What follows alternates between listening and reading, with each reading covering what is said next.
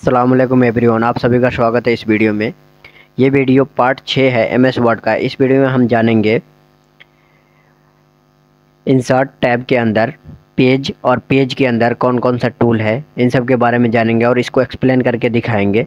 तो चलिए वीडियो शुरू करते हैं। हम क्लिक करेंगे स्टार बटन पे और यहाँ पे सर्च कर लेंगे विनवर्ड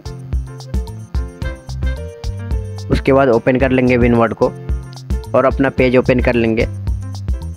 इसके ऊपर हम एक्सप्लेन करेंगे। ठीक है? अब हम क्लिक करेंगे। सबसे पहले इंसर्ट टैब में चलेंगे।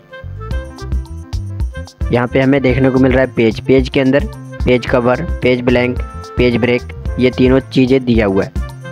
तो पेज कवर से क्या होता है? कवर पेज से क्या होता है? इसके बारे में हम बताएँगे। तो हम जैसे यहाँ क्लिक करेंगे, हमारे सामने काफ़ी सारे पेज कवर दिखने को मिल रहा है। जैसे आपने अपने कॉपी के ऊपर देखा होगा, इस तरीके से आपकी कॉपी जैसे आप कॉपी खोलते उससे पहले इस तरीके से पिक्चर बनी रहती है अलग अलग टाइटल लिखा रहता है, इस तरीके से बना होता है, आपने देखा होगा। तो वो यहाँ से होता है। कुछ ज़्यादा एडवांस नहीं है, फिर भी नॉर्मल है। यहाँ से आप कर सकते हो। ठीक है? अपना ए फोर सीट के ऊपर अगर कोई कॉपी बना रहा है तो उसके ऊपर अगर पेज का कवर देना चाहता है, जिस तरीके से देना चाहता है, वो यहाँ से दे सकता है। जैसे इस तरीके से देना है हमने तो इस तरीके से आप दे सकते हैं। ये फुल और इस तरीके से आएगा ए फोर सीट पे पूरा। कुछ चेंज वेंज करना चाहते हैं, नाम वाम लिखना चाहते हैं, यहाँ से आप कर सकते हैं। नहीं चाहिए, हटाना चाहते हैं रिमूव कर दीजिए, यहाँ से रिमूव कर सकते हैं। अगला है ब्लैंक पेज ब्लैंक पेज से क्या होता है कि हमें पेज चाहिए, ठीक है? हम यहाँ काम कर रहे हैं, हमें पेज चाहिए, ठीक है? तो आप यहाँ क्लिक कर दीजिए। ये देखिए, नीचे पेज आ गया ऑटोमेटिक ऊपर का पेज तो है ही है, नीचे भी पेज आ गया, ठीक है? तो इससे आप पेज ब्लैंक कर सकते हैं, इस तरीके से आप पेज ले सकते हैं।